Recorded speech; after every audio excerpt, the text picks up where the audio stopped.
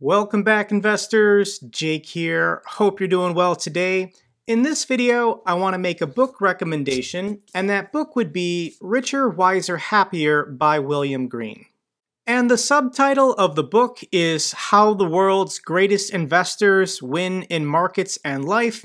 And basically, this book is just a consolidation of William Green interviewing some of the world's most successful long term investors.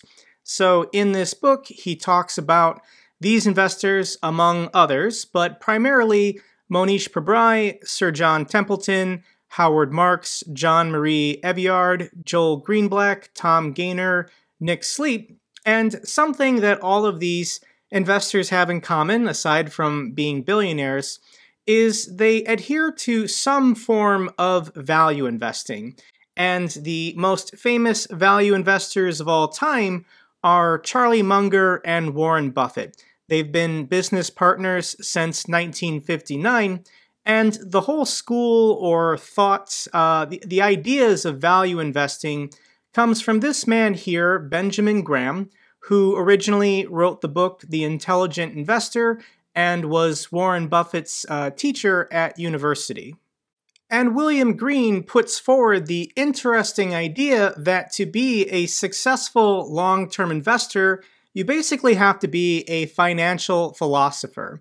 He states in the uh, intro of the book I've come to think of the best investors as an idiosyncratic breed of practical philosophers. They look for advantages wherever they can find them economic history, neuroscience, literature, Stoicism, Buddhism, sports, the science of habit formation, meditation, or anything else that can help. Their unconstrained willingness to explore what works makes them powerful role models to study in our own pursuits of success, not only in markets, but in everyday area of life. For those of you don't know my background, I discovered the world of finance and investing late, only in the last three years or so. But prior to that, I, I loved to learn. I loved learning about human psychology, human evolution, uh, natural history, world history, uh, even, even economics. But to be a successful long term investor, it certainly helps to uh, accumulate uh, a, a vast body of knowledge and just once again boil it down to what works. And all of the world's most successful long term investors have something in common. And that thing they have in common is they are voracious readers. They read a lot about as much as they possibly can. And I know if you're watching this YouTube video, then potentially you're a more visual learner. You like talking to people and interacting with them to learn. However, you just can't beat uh, the good information that you can get that's been consolidated and condensed for you. Yes, it's still potentially a lot of reading and a long book, but this really is the best information you can find for sale that anyone has access to. And in the event that you just find it difficult to find peace and relaxation in your life in order to dive deep into a book, I highly recommend getting a subscription with Audible so you can at least listen to uh, these great books from these great investors, or potentially buy the book and then have it read to you through Audible. Lots of people absorb information better when they can both see it and hear it at the same time. And this is a frequent comment I get on my channel uh, in the comments section. People say, Jake, what books did you read to learn how to invest? And this question makes me nervous because usually it's being asked on one of my videos in which I'm actively trading or short-term trading. And what I think they're really asking me is, what's the minimum amount I need to read to get rich fast in the stock market? And unfortunately, guys, I can't recommend a book. No such book exists. If you guys know of one, let me know. But the reason why there's no science uh, to active investing short term trading is because if there was, then it would be taught in university, uh, the books written about it would be New York Times bestsellers, everyone would be reading them, and everyone would be getting rich. So, unfortunately, there is no book about short term trading or active trading that can guarantee uh, profits, guarantee uh, profitability in the short term. And another book that I'm going to shout out real quick is The Little Book of Common Sense Investing by John Bogle. He's the founder of Vanguard and the guy who invented the index fund. And the subtitle of this book is The Only Way to Guarantee Your Fair Share of Stock Market Returns. To just buy and hold, dollar cost average into uh, low cost, simple index funds long term. This is a one and done, read it and forget it uh, strategy to basically win uh, at investing. And the only other style of investing over the long run that can beat index fund investing when done correctly is value investing. Warren Buffett, Charlie Munger, and these other successful value investors have outperformed the index funds over 20, 30, or 40 years. So, this book by William Green is an exploration of these successful long term value investors, and Charlie Munger himself says, I believe in the discipline of mastering the best that other people have ever figured out. I don't believe in just sitting down and trying to dream it all up yourself. Nobody's that smart. So everybody needs mentors, teachers, people to learn from in order to uh, get better being a long term investor.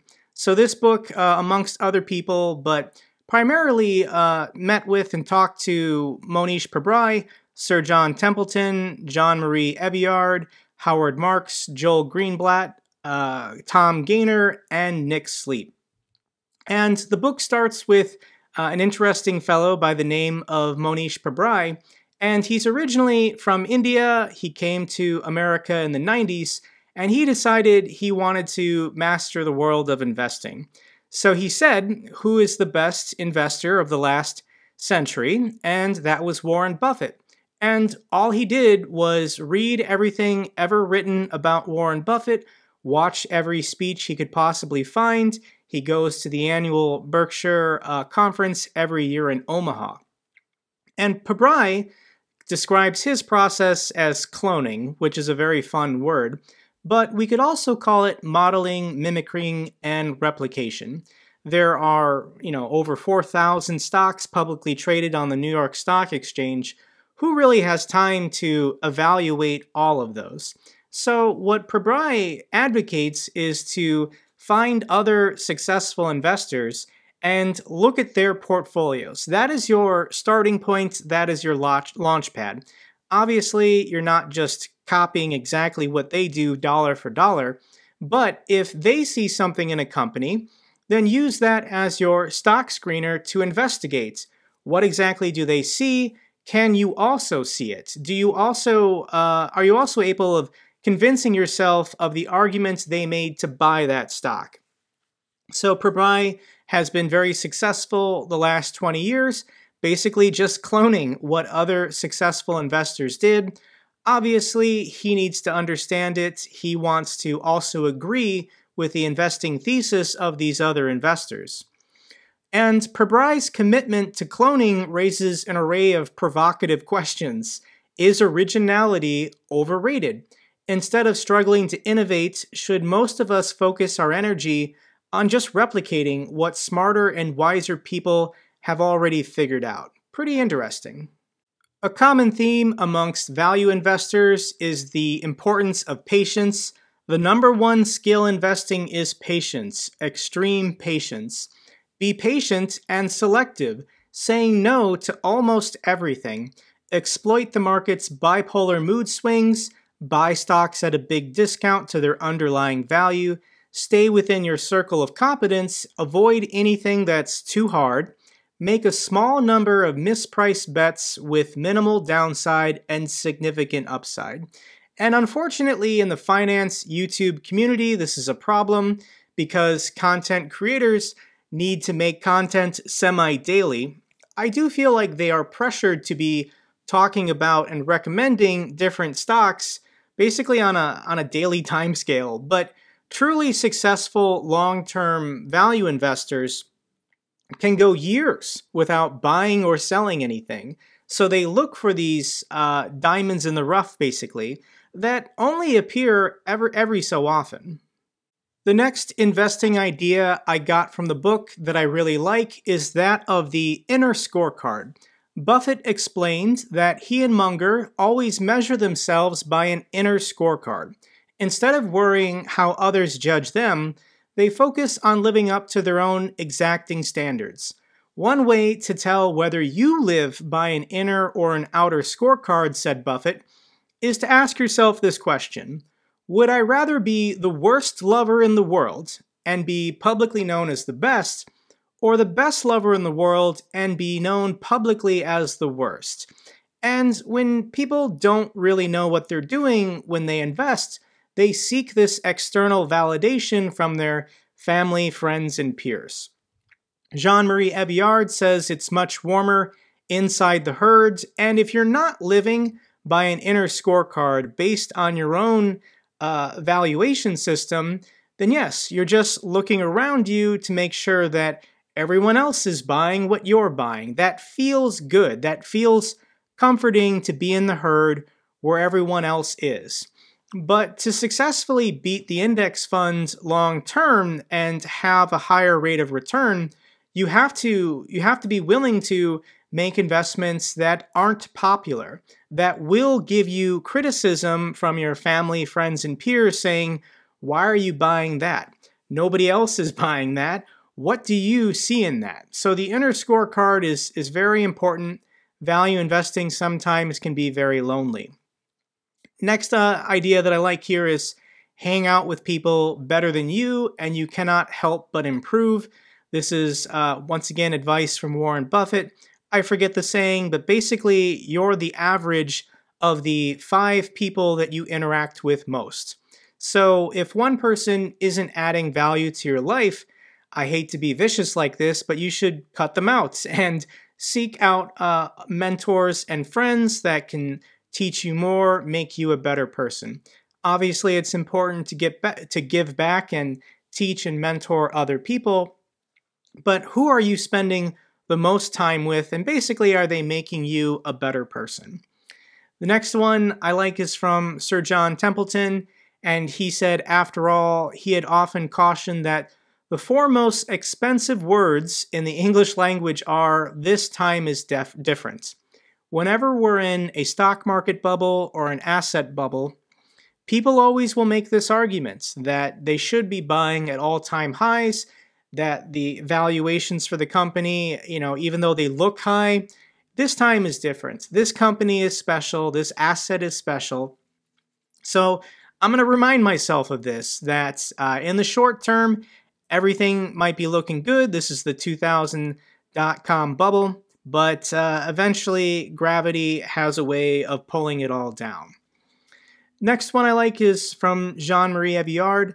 Skepticism calls for pessimism when optimism is excessive. That almost feels like poetry there.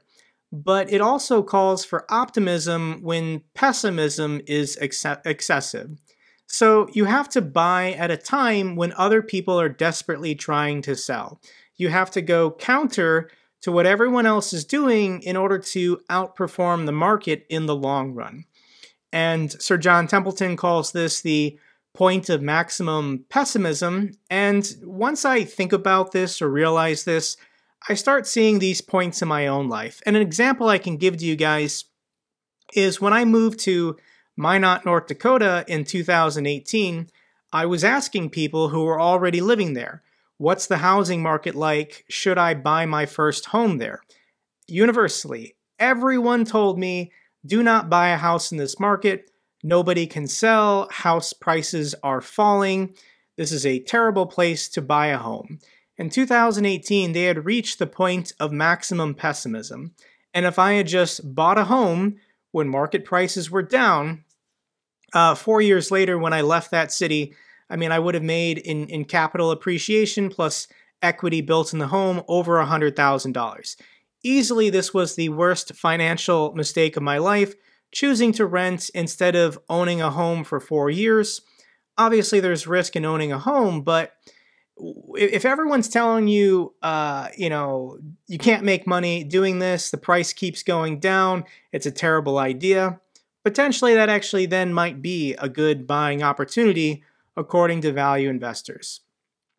Uh, the next one I like is from Howard Marks. One of his favorite insights is from the economist John Kenneth Galbraith, an intellectual hero of his, who said, We have two classes of forecasters those who don't know and those who don't know they don't know. Uh, even a blind squirrel sometimes finds an acorn. And there's a lot of people on YouTube, uh, finance YouTubers, who who just outright say that they can find the next 10x stock or they can predict the future. And for true successful long-term investors, nobody can predict what's going to happen next year, 5 years from now, 10 years from now. Who was anticipating a global pandemic would hit the world in the year 2020? Who had their portfolio protected or hedged against that? And it was virtually zero people. So once you surrender, once you just understand that you can't predict the future, all you can do is make reasonable assumptions based on past performance and then position yourself for the best you can. But anybody giving you guarantees on a certain stock or, or, or, or, the future in general, just be cautious of them because they might be a blind squirrel. Marks continues The problem is, most investors act as if the latest market trend will continue indefinitely. Behavioral economists use the term recency bias to describe the cognitive glitch that leads us to overweight the importance of our recent experiences. Marks notes that the human mind also has a treacherous tendency to suppress painful memories. So let's say there was a hot stock or assets that was going up huge. You then bought into it basically at the top. It immediately crashed and fell 60 to 80% before you sold out in agony. You have a way of suppressing this painful memory and then falling for it again. Let's say you put a little bit of money into this hot stock that's taking off. Over the last two weeks, it's up 10 or 20%. It's so tempting to say, this is great, this is going to continue forever. I'm going to keep buying in. I'm going to keep adding money because it's it's made me money over the short term. But to be successful long term, you have to fight this recency bias. And additionally, the opposite is true. I get so many comments on my channel telling me I shouldn't be buying and holding index funds because the whole stock market is going down. People who invest in the stock markets are fools. It's all fiat money. The Fed's going to keep printing. Uh, the dollar's going to zero. The economy's going to crash. Howard Marks likes to say most of the time, the end of the world doesn't happen when you think about what the what the stock market has survived the last 120 years from World War I to World War II, the Great Depression, the Cold War, the collapse of the Soviet Union, I, I feel like, yes, the challenges we will experience the next century from the emergence of artificial intelligence to global warming, overpopulation, I still am going to put my money in the stock market, guys confident that the end of the world just isn't going to happen. A story from the book I really enjoyed was that of Jean Marie Eveillard, and he was uh, managing a mutual fund at the time in the late 90s. So this is 97, 98, 99, and 2000. And while all of these terrible dot com companies were overinflating in value, he refused to buy them. He was only making purchases for his mutual fund based on the fundamentals of the company. He knew they were overvalued. But as a result of not buying these terrible dot com companies that all went bankrupt and got delisted, a lot of his uh, a lot of his clients and customers who were in his mutual fund they sold out because his fund was underperforming the market by not participating in these overinflated uh, pump and dump hype stocks, he was suffering. He almost lost his fund. He almost uh, lost all of his clients and customers. And for people who manage mutual funds, they have to chase returns, either on a quarterly timescale or a yearly timescale. Otherwise, their clients pull their money out of their funds. And Warren Buffett has been successful over the last 60, 70 years because he doesn't have to worry about that. Berkshire has the structural advantage of being a public company, not a fund, not a mutual fund that people can pull their money out of. So they're investing permanent capital that can never be yanked away by panicked shareholders. If you run a mutual fund, you're always worried that the shareholder will abandon you if you're temporarily not doing well, says Eveillard. To some extent, Buffett has, with Berkshire Hathaway, a closed end mutual fund. He can't uh, summer from redemptions. So now that you know this, that um, mutual funds and hedge funds have to chase short term performance, this explains so much with all of these pump and dumps or hype stocks that are always, anytime somebody says to the moon, I have to cringe a little. And in the book, we also learn about Nick Sleep and his Nomad Fund, which produced stellar returns above the market average consistently over a long period of time.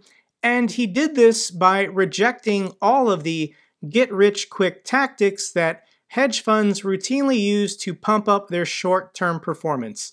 High testosterone strategy, Sleep has dubbed investment Viagra's. I actually really like this concept and this idea.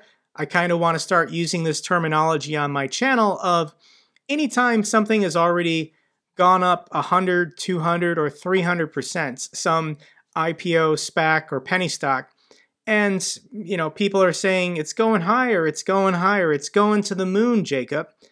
I mean, it's it's all just Viagra investing. All you care about is getting it up right now you don't really care uh, where it goes or how it ends. You just want that, that high to the moon right now. The book continues that Nomad never used leverage, never shorted a stock, never speculated with options or futures, never made a macroeconomic bet, never traded hyperactively in response to the latest news, never dabbled in exotic financial instruments with macho names like Lions and Prides. Instead, Sleep and Zakaria played with what they viewed as a long, simple game, which involved buying a few intensively researched stocks and holding them for years. And this really is a common theme amongst all of these successful long-term investors is that they value simplification. Joel Greenblatt, uh, let's continue here, Simplification is an equally important strategy in more worldly realms such as science and business. For example, scientists often invoke the Occam's razor principle, which is attributed to a 14th century English friar and philosopher named William of Ockham. But his principle holds that all things being equal, the simplest solution tends to be the best one. So if you're walking around on a farm and you hear hoofbeats uh, in the distance, it's probably a horse. Yes, it could be a zebra on a farm, but what is the simplest explanation? So in the world of science and business, this helps people. But in the world of finance, it's almost the opposite. The late Jack Bogle, who founded the Vanguard Group in 1975, uh, and created the first index fund a year later, observed in a book titled Enough financial institutions operate by a kind of reverse Occam's, Occam's razor. They have a large financial incentive to favor the complex and costly over the simple and cheap. Quite the opposite of what most investors need or ought to want. And Warren Buffett himself is a grand master of simplification. Writing to his shareholders in 1977, he laid out his criteria for selecting any stock. We want the business to be one, one that we can understand, two, with favorable long term prospects, three, operated by honest and competent people, and four, available at a very attractive price. And even though Berkshire Hathaway is one of the most successfully publicly traded companies the last 60 years, asked about the crash of 1973 74 when his investment partnership lost more than 50%, he notes that Berkshire's stock price has also halved on three occasions. So, from its peak to uh, losing greater than 50% of its value. Berkshire Hathaway has done this three times in its history. If you're going to be in the game for the long pull, which is the way to do it, you better be able to handle a 50% decline without fussing too much about it. And so, my lesson to all of us is conduct your life so that you can handle a 50% decline with aplomb and grace. Don't try to avoid it, it will come. In fact, I would say if it doesn't come, then you're not being aggressive, aggressive enough with your money. So, just incredible when you think about investor psychology. If you had sold out, if, if Berkshire's share price had declined greater than 50%, and you say, I can't take this pain, I can't take this volatility, the stock market just loses me money, I can't do this, and then you sell out at the bottom, this is what most people do. When counterintuitively, this is the best time to be buying. And the final piece of wisdom that Charlie Munger gives in the book is if all you succeed in doing in life is getting rich by buying little pieces of paper, it's a failed life. Life is more than being shrewd in wealth accumulation. I didn't talk about it too much in this video, but obviously the title of the book is Richer, Wiser, Happier. It's not the money that makes you happy. Obviously, having all of your needs met is pretty important. But for all of these individuals, uh, once they accumulate this vast wealth, they often uh, receive uh, happiness from giving it away from pursuing phil- phil- uh, philanthropy uh, and charitable uh, organizations. That's definitely something that hopefully someday I can do once I feel like I have enough to cover my needs and my family's needs. Uh, I definitely would like to uh, be generous and, and give back once once I reach that point in my life. So, in a nutshell, guys, that's the takeaways I got from this book and that I wanted to share with you in this video. If you guys enjoyed this video, give me a thumbs up so the algorithm knows it's good. If you have any comments or questions, I love hearing from you guys. Till the next video, take care.